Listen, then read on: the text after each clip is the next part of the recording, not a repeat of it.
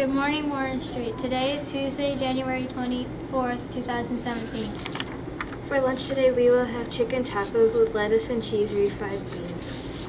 Happy birthday to Tristan Marlowe and Dewey Witzke Jr.